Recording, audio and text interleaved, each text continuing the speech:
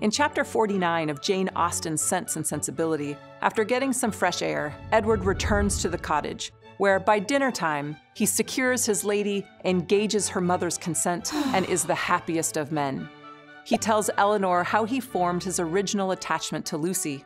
With nothing else to do as a young student, he had nothing better to do than fall in love with a pretty girl.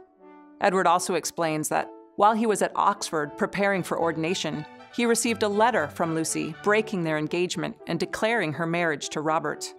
Because his mother had already settled the inheritance on Robert, she could no longer use it to threaten Edward, and she still ended up with the despised Lucy as her daughter in law, a most appropriate punishment, in Elinor's humble opinion.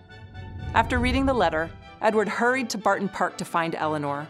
Reunited, Elinor and Edward are emotionally secure, but worried about money. Colonel Brandon arrives a few days later, and Mrs. Dashwood fills him in on the news. Letters from London with more details about Lucy and Robert begin to arrive. Mrs. Jennings writes how sly Lucy was about the marriage and how sad Edward must be. John reports on the sufferings of Fanny and Mrs. Ferrars, now estranged from both Edward and Robert. Lucy's secrecy, he explained, heightened the crime. John suggests that a subservient letter from Edward would do a lot to soften Mrs. Ferrars' displeasure, but Edward's not sorry about his actions. Elinor insists that he has given offense by the secrecy of his own engagement. Edward yields to her even keeled judgment, agreeing to travel to London to ask for forgiveness in person. Edward and Brandon leave for Delaford to inspect the parsonage before Edward travels on to London. In chapter 50 of Sense and Sensibility, Mrs. Ferrars firmly places her son Edward back in her good graces, and Edward tells his mother he intends to marry Elinor.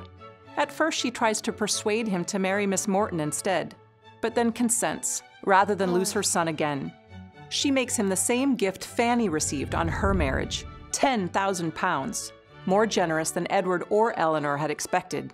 It's a happy ending for the couple.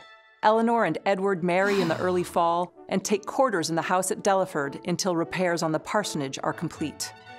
Both Edward and Robert, who, with Lucy, gain Mrs. Ferrars' real favor and preference, seem happy with how things have turned out Elinor's mother and sisters visit so frequently that Marianne and Colonel Brandon are often together.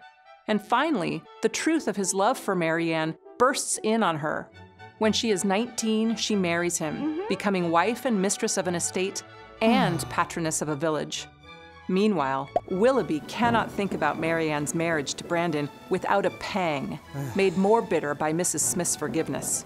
If only he had behaved more honorably toward Marianne, he might have been happy and rich. Mrs. Dashwood stays at Barton Cottage with Margaret, who's now old enough to take part in dances, while Elinor and Marianne live close and remain friends, as do their husbands.